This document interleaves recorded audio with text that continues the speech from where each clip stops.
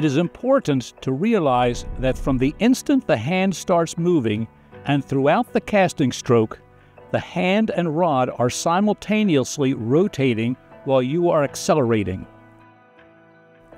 Mechanically speaking, the rod is a Class 3 lever.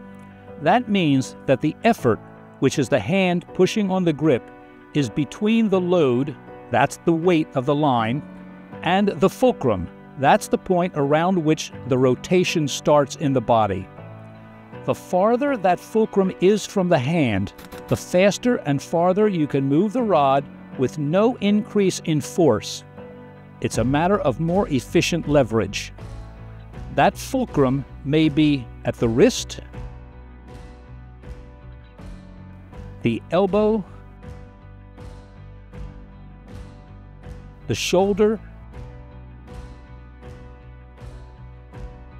the hips, even down into the legs. If the fulcrum is the wrist, the effort arm is about 4 inches long.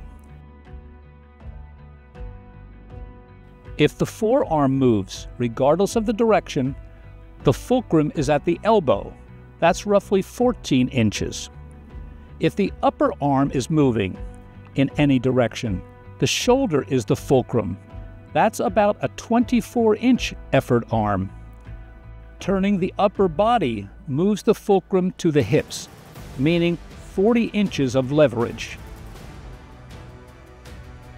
The combination of leverage and rotation with acceleration makes for greater casting efficiency.